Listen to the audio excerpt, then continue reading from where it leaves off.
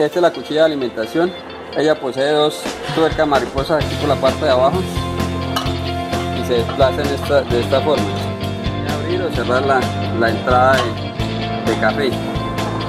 La medida normal es que esta la galga que es de calibración pasa, pasa en medio de la, de la cuchilla y el alimentador.